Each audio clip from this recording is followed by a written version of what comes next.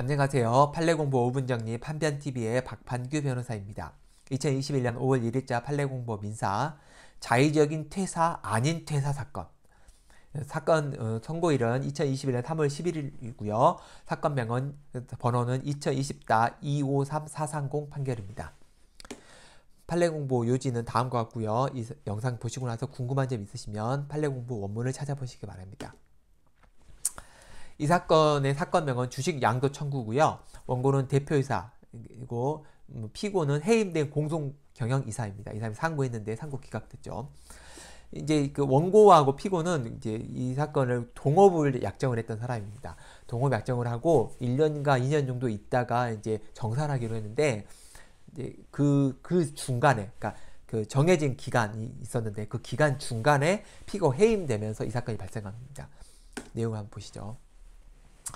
원고와 피고는 주식회사를 공동 운영하고 있었습니다. 그래서 약 2, 3년 정도 같이 운영하기로 했죠. 그러면서 이 동업계약을 체결하면서 근속 의무 기간을 설정합니다. 그러면서 그 약, 약정을 하는데 이런 약정을 합니다. 그 자의적으로 피고가 퇴사할 경우에는 그 주식의 전부를 원고에게 넘긴다. 얼마의 액면가에.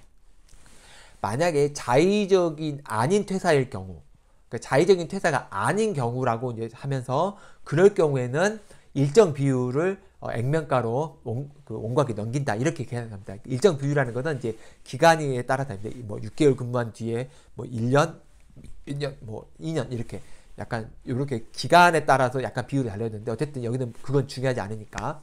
어쨌든 일정 비율을 액면가에 이제 넘기기로 하는 약정을 체결한 겁니다. 그러면서 이제 두 가지 경우로 많은 거죠. 자의적인 퇴사할 경우 주식 전부, 자의적인 퇴사가 아닌 경우에는 일정 비율 이렇게 한 겁니다. 그런데 이 회사가 주주총회를 열어가지고 그 준속기간이 종료되기 전에 피고 등 몇몇 이사에 대해서 이사직 해임을 결의해 버립니다. 그러면서 이제 피고가 이사직이며 해임된 거죠. 그러니까 이제 원고가 피고를 상대로 이 약정 자의적인 퇴사가 아닌 퇴사의 경우에는 일정 비율을 액면가에 넘겨라 라고 하면서 매매 계약 청구를 하면서 주식 양도 청구를 하게 된 겁니다.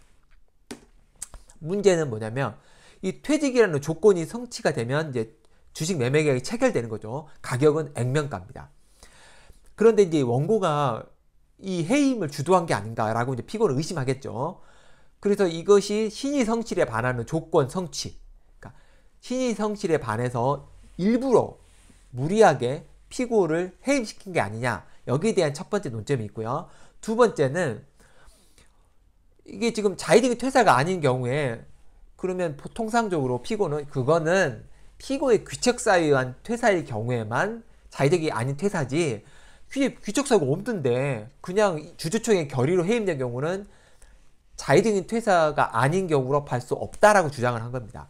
대법원은 뭐라고 하냐면 일단 자의적인 퇴사가 아닌 퇴사에는 규칙사에 없는 해임도 포함된다.